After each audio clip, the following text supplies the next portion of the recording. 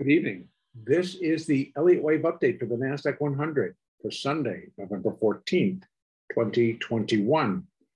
The Globex started higher in both the S&P and the NASDAQ, actually also in the Dow and the Russell. So across the board, the markets are continuing to move higher. In the S&P, it did move above where I was labeling a wave pattern for the downside and I was looking for confirmation of a five wave pattern down, only got down through three. And it the fourth wave, which would have been in progress off of Thursday's lows, uh, exceeded the low of wave one. And that negated the pattern. That has not occurred yet in the NASDAQ, but I've gone ahead and changed the pattern to reflect uh, what I believe is going on, at least in the uh, S&P, and more than likely will occur here in the NASDAQ. Now that level to watch is 16,256. A break above 16,256, and we've gotten close. So far in Globex, we've gotten as high as 16,241. So we're not that far off of negating that count. So I've gone ahead and done it for me, for us in terms of I've, I've labeled what I was putting in as the high at 16,448 as the high of the minor five, the intermediate five, and the primary five. I've now raised the third as the wave five within that extended. And so an extended within wave three rather than on its own in a fifth wave. So the third is here, the minor four is here, that puts us in a minor fifth wave. Now, again, what I want to make clear is that the count itself is not a process of who is right or wrong. It's a process of interpreting the order flow and the price movement and how that translate into discernible chart patterns. With the markets themselves being fluid and ongoing, it becomes imperative that me as the analyst do, does the same thing. I do, I do not work with fundamentals to decide direction or how high or how low the markets are going to go. I use Elliott wave and Fibonacci sequences that over time have developed definitive structural patterns and rhythms. So this is what gives me the ability to use Fibonacci relationships between the waves that have commonality with regards to resistance and support areas. So with the break in the S&P, of that resistance and support areas, the market has put a different count up for observation and trading. I've taken it and put it into the NASDAQ because the two markets are so closely related in terms of counts. So if this indeed is a minor fourth wave, we are in a fifth wave advance. What should that fifth wave advance begin to look like? Five waves up, again, of minute degree. Let me drop this down to the 30 minute chart and we'll take a look inside. So minute wave five, we get five waves of minute degree. Here's minute one, minute two. That third wave begins to subdivide in and of itself. So we have one, two. And then I believe that we have part of one, two, three, four, five of the third of this little wave.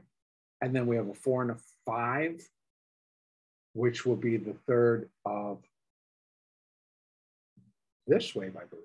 Let's say one, one, two, three, four, five, three of this, and then a four and a five for three of this, and then a four and a five to complete the sequence. Ooh.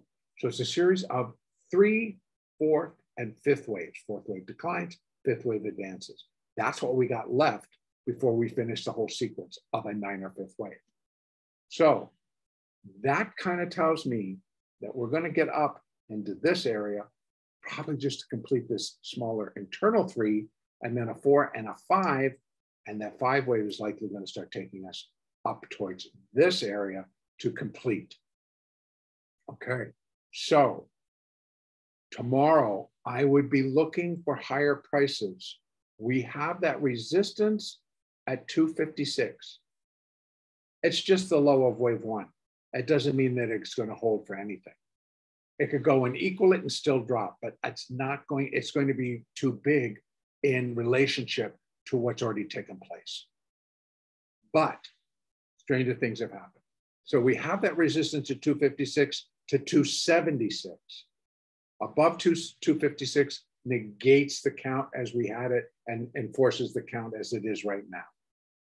Then we have resistance at 308, then 336, 355, and then 380. It is that 380 area that I think this third wave will complete, set up the stage for a fourth wave, and then we still have a fifth wave to move higher. Once this third and fourth are in, I'll rerun the extensions to run to include the move from wave two up to wave three and down to four to give us more definition as to where this five could end up. Right now, we're looking for 529, 6608.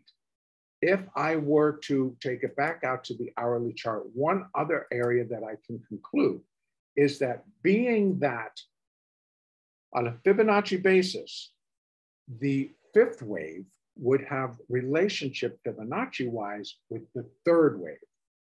If that's the case, this minor fifth wave has potential to reach the most common relationship, which is wave five will be equal to 62% of wave three.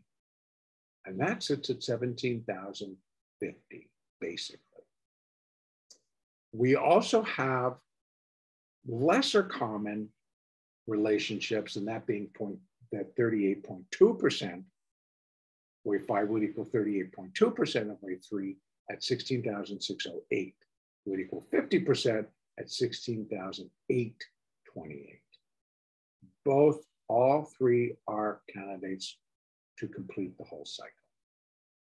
Okay, so for tomorrow, I do expect higher levels. I do expect that we will likely get back above 16,300, up here towards 16,380 to complete the thirds. And we still have series of fourth and then a fifth. So that's my outlook for tomorrow. And likely the squeeze is going to continue. I do feel most of this is a short squeeze due to the options. We do have another weekly option expiration, which will be on Friday. So I'll be looking into, into the internals and how the options are trading in the big tech stocks that I mentioned that remain in play. Our next update will be tomorrow, November the 15th.